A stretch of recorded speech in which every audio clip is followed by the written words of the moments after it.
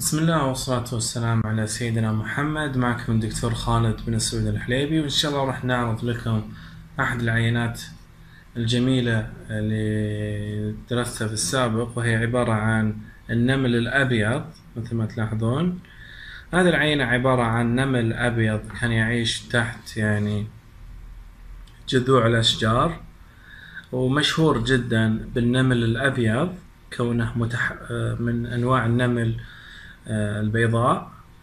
وهذه الفصيلة يعني صراحة اكتشفت فيها يعني آه، أشياء كثيرة. من أندر آه، الفصائل المتواجدة في الأحساء. طبعا هذه الفصيلة متوحشة وقوية جدا ومعمرة. ممكن يعني أي استفزاز يعني للنملة ممكن تهجم على أي شيء بشكل وحشي وبأسلوب أناني جدا.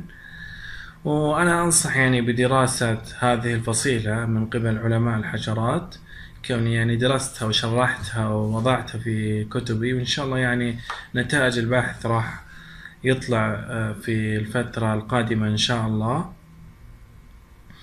وهذه الفصيلة طبعا عبارة عن آه، يعني آه، حشرة آكلة لجميع المخلوقات الحية. ممكن تتغذى على الخشب ممكن تتغذى على النباتات ممكن تتغذى على الحشرات ممكن تتغذى على أي نوع من أنواع يعني آه، المخلوقات الحيوية.